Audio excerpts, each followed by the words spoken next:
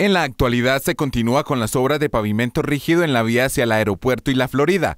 La ejecución del proyecto parece tener algunos retrasos, que podrían también ampliarse por temas de lluvias. Sin embargo, se continúa según se ha manifestado desde la Secretaría de Obras Públicas con la proyección fijada, considerando incluso que deberá esperarse el tiempo de secado. Este proyecto tiene un avance más o menos del 70%. Actualmente falta un porcentaje pues, de, la, de las placas y falta la construcción de todas las cunetas y los bordillos. El día martes tuvimos visita por parte del INVIAS, vino la coordinadora a nivel departamental, a nivel Antioquia y nos acompañó además la interventoría que es contratada y pagada desde, el misma, desde la misma entidad todo lo que son las placas pues estarán finalizadas para el 17 de este mes. La construcción de las placas es pues ya que estas placas cojan la resistencia que son 28 días y mientras tanto se irán realizando el tema de cunetas. Eh, pedirle un poquito de paciencia a la gente porque son pavimentos rígidos, estos pavimentos requieren que el pavimento coja resistencia para que dure los años que tiene que durar.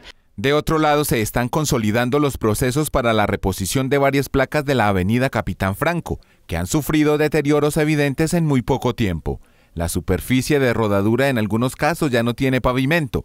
En este caso, el contratista que pavimentó estos sectores deberá asumir la intervención porque los materiales utilizados parecen no proporcionaron una duración ideal y terminó en pésimas condiciones. También se tuvo la semana pasada eh, una reunión con el contratista con la interventoría de la Capitán Franco, donde se llegó a unos compromisos de que se van a organizar las placas malas.